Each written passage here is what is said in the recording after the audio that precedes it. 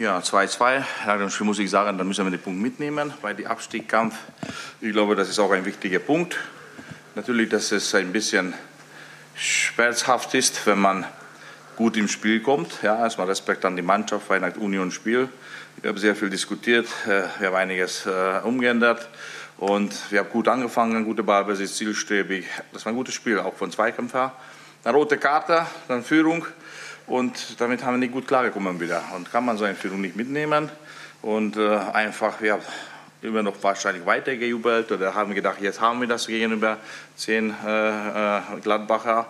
Und äh, bis Halbzeit Chaos und Gegner für 2-1. Dann musst du da reingehen, musst du Ordnung schaffen, musst du, musst du äh, so reden mit der Mannschaft, dass die auch rausgehen und, und die spielen noch ja, versuchen sie zu drehen. Ja, aber es ist nicht einfach. Heute äh, ein Plus ist natürlich ist mehr, aber viele Mannschaften gewinnen sogar die Spiele mit äh, Unterzahl, weil darfst du fünfmal wechseln. Das ist nicht so wie früher gewesen, hat man Jojo, spielst du weiter und, und äh, irgendwann die sind müde. Jetzt kommt immer Frische rein und da müssen wir aufpassen, dass wir uns nicht auskontern. Aber die zweite Halbzeit nach personeller Änderung haben wir gut gespielt. Ja, von Position her, von äh, Staffelung her, scharfe Pässe, Tiefe, Flanke, nachgesetzt, Ecke, Ecke, Druck. Aber leider äh, zum Schluss dieser Lucky Punch hat gefehlt. 2-2 müssen wir damit zufrieden sein. Und äh, jeder Punkt, was wir sammeln, ist wichtig bei dem Abstiegskampf. Und was wichtig ist, das war Fußballspiel. Ja, teilweise äh, äh, war es ein bisschen körperbetont, aber da müssen wir noch ein bisschen reinwachsen. Bei nächster Woche wird bestimmt auch äh, körperbetontes Spiel kommen. Und jetzt die, die äh, Stimmung können wir erstmal mitnehmen, weil das hat nach Fußball ausgesehen. Leider ja, zwei Punkte weniger, aber ich würde hochnäsig sein, würde, würde ich sagen, ja, wir haben äh, drei Punkte verdient. Nein, da müssen wir damit klarkommen. Die letzte äh, Konsequenz war nicht da, obwohl wir haben die ganze Kapazität, was wir haben, auf dem Platz gehabt. Ja, die, haben, die Jungs haben sogar gearbeitet. Selber diejenigen, die ausgewechselt haben, haben sie gut gearbeitet. Nicht ausgewechselt, war aber schlecht gespielt. Also die Moral ist jetzt okay. Und deswegen sage ich wichtig, dass wir sogar mit 2-2 nach Hause gehen. Nächste Woche ist wichtige Woche und wichtige Spiel. Paul, vielen Dank. Dann beginnen wir mit den äh, Fragen. Und zwar die erste von äh, Carsten Briefer, Bild BZ. Was ist nach dem 1 zu 0 mit der Mannschaft passiert? Was hast du in der Pause gesagt? Also, in die Tag 1-0, ich glaube, das wahrscheinlich bei den Spielern, das war genauso die Augsburg-Spiel. Gehst du zum äh, äh, Führung und dann bist du so, so, so, so schockiert. Ja? Oder, oder irgendwie, da denken sie, die Spieler bei Abstieg kamen, das kenne ich selber. Führst du 1-0 und dann willst du das mitnehmen. Das geht nicht. Ja? Das geht nicht. Und dann waren wir passiv, wir waren nicht aktiv. Dann waren wir, äh, das ist Mathematik. Ja? Ich stelle die Gegner zu. Hinten bleibt sogar ein Plusmann als Absicherung, passiert nichts, dann ist Ordnung. Und wir kassieren mit Tore, dass die Gegner uns auseinander spielt, obwohl wir sind mehr und wir führen wir sogar. Und das war Naivität. Und ich glaube, nächstes Mal, wenn so etwas erleben, diese Spiele, dann wird nichts passieren. Ja, weil dann müssen sie davon lernen. Und, und, und äh, zweite Halbzeit sind wir auf dem Platz. Ja? Das ist für, für Coaching, für Ordnung. Dann hat das besser ausgesehen. Und Halbzeit bin ich ganz ruhig geblieben. Ich habe gesagt, alle Spieler, warum würde ich auswechseln? Dodi hat mussten wir auswechseln, weil da gibt keinen kein Raum mehr. Können wir nicht weglaufen. Deo, gelbe Karte. Und, äh, und äh, was habe ich noch gewechselt? Äh, Halbzeit. Maxi. Maxi äh, wollte ich mit Platte, dass wir bessere Flanke kommt, weil Maxi war nicht, äh, äh, das war nicht sein Tag nach meiner, meiner Sicht. Die Flanke haben nicht dahin gegangen, wo normalerweise sollen. Deswegen haben wir gewechselt. Äh, wir haben aufgemalt das System, erklärt, wie wollen wir das sehen. Und die Jungs haben es auch gut gemacht. Ja, muss man sagen, Passschärfe, Spielzüge, Grundlinie, Flanke, Druck, Ecke, äh, Standard. Ich weiß nicht, über 20 Schuss wahrscheinlich. Äh, muss reich sein. Ja. Dieses Mal war nur zwei Tor, nächstes Mal vielleicht drei. Heute nur Punkt. Und ich sage nochmal, ich bin ruhig geblieben. Und äh, natürlich vor, kurz vor die rausgehen, natürlich, dann pushst du die an, dann bist du ein bisschen lauter. Aber bei der Analyse oder ich habe keinen Vorwurf gemacht, kein irgendwelcher laute Toner, weil wir haben schon so viel geredet die letzte Woche, so viel äh, äh, Sachen gemacht haben. Irgendwann äh, ist nicht so einfach.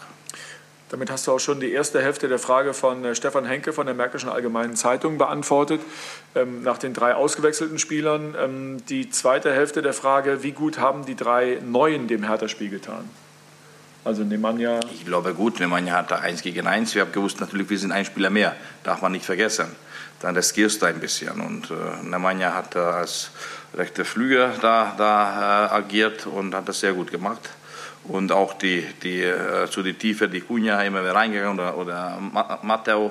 Also praktisch die rechte Seite sehr gut funktioniert. Links war vielleicht ein Tick zu wenig, aber die haben sie bei Plattenhardt sehr gut zugestellt. Wahrscheinlich wegen die Flanke, damit er nicht flanken soll. Zwei Stürmer vorne, ein Box ja, kann ihm etwas passieren. Äh, ich habe auch gehofft, weil Christoph hatte immer Nase, Tore zu machen, wenn er als Joker kommt. Dieses Mal hat nicht geklappt, aber nächstes Mal vielleicht. Und zum Schluss Kunja, zwei, drei Schüsse, eigentlich im Training sitzt, dieses Mal nicht. Muss man einfach arbeiten, das Abstiegskampf, ja. Und, äh, und äh, verdient der Punkt. Wenn hätten wir vielleicht ein bisschen konsequenter umgegangen mit der Sache, dann wäre besser. Aber erstmal nehmen wir es mit. Wie schätzt du, wenn wir dabei bleiben, diesen Punkt ein? Wie ist deine Gefühlslage? Ein Punkt gewonnen oder zwei liegen lassen, ist die Frage von Jörn Lange von der Berliner Morgenpost. Also, äh, ich finde, hätte besser gewesen, wenn die Gegner mit elf Spielern weiterspielt, weil wir war gut drauf, ja, in das Spiel war gut reingekommen, mhm. weil das hat uns gestört erstmal.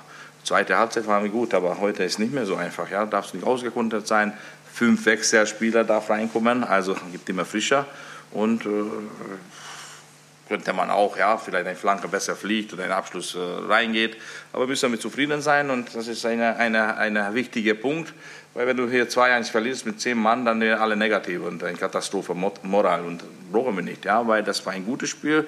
11 gegen 11, egal wie gut, so, wir haben gut reingekommen. Nach Union-Spiel war diese Steigerung, Fußball und auch zweite Halbzeit, das war Fußball. Dann habe ich noch eine Frage von äh, Andreas Hunziger vom Kicker. Äh, Santi Ascasiba hat Toussaint ersetzt und ein Tor gemacht. Wie sehen Sie seine Leistung? Santi hat das äh, schöne Tor gemacht, hat, äh, zweikampfstarker Spieler, aber ist nicht diejenige, die große Ballbesitzspieler erstmal. Und äh, zweite Mal, zweite Halbzeit sehr wichtig gewesen, dass man, dass man schärfe Bälle, schneller Spieler spielt, ja. Und, äh, und für die Ordnung, ja, damit wir nicht durch und quer laufen, das war nötig, Sammy zu holen und das hat auch gut ausgesehen. Ja, und äh, nächste Woche kommt auch Thyssa. Wir sind zufrieden mit der äh, äh, Arbeit von den Sechser. Müssen wir auch noch ein bisschen vorne steigern und dann wird das gut. Dann sage ich dir herzlichen Dank äh, für die Beantwortung der Fragen und vielen Dank für die Fragen an die Kolleginnen und Kollegen auf der Pressetribüne. Schönen Samstag noch, bleibt gesund und nachher geht es hier weiter mit äh, Markus Aretz, meinem Kollegen, und Marco Rose. Bis nachher. Ciao. So, hallo zusammen, schöne Grüße hinauf auf die Pressetribüne. Herzlich willkommen zur Pressekonferenz von Marco Rose nach unserem Spiel hier bei der Hertha. Fragen habe ich geschickt bekommen und lese sie vor. Die erste ist von Christian Kitsch von der Bild. Marco, bist du einverstanden mit der roten Karte für Herrn Sommer oder war die zu hart? Und mit welchem Gefühl gehst du in die nächsten beiden Spiele, für die deine Nummer 1 voraussichtlich gesperrt sein wird? Bauchschmerzen und ist bei Tobi Sippel alles okay?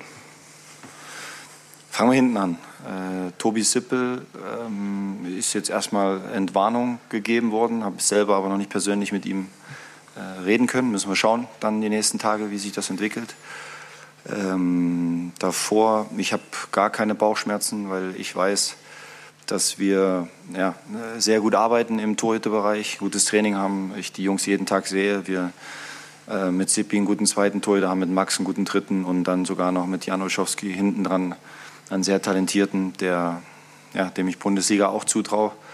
Äh, Jan mit seiner Persönlichkeit fehlt uns natürlich, aber ich habe keine Bauchschmerzen.